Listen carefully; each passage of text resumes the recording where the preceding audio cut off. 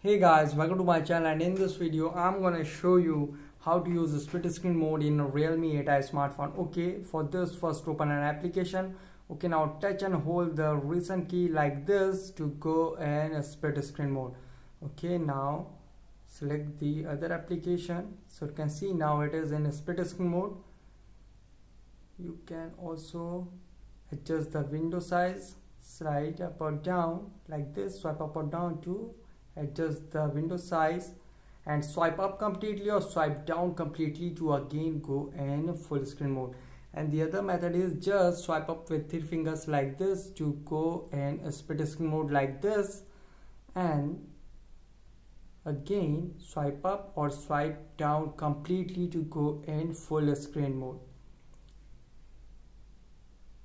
You can see now open the other application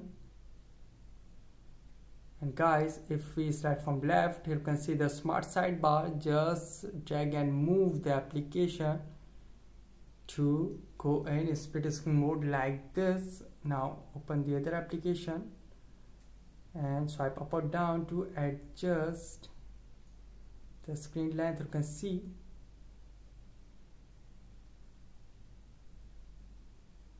you can also customize the application size. You can see and swipe down completely to go in full screen mode. So guys this is the method to use the split screen mode in realme 8 smartphone easily guys. Thanks for watching. If you have any query related to this video let me know in comment section below. Please like share subscribe and click on bell icon for latest updates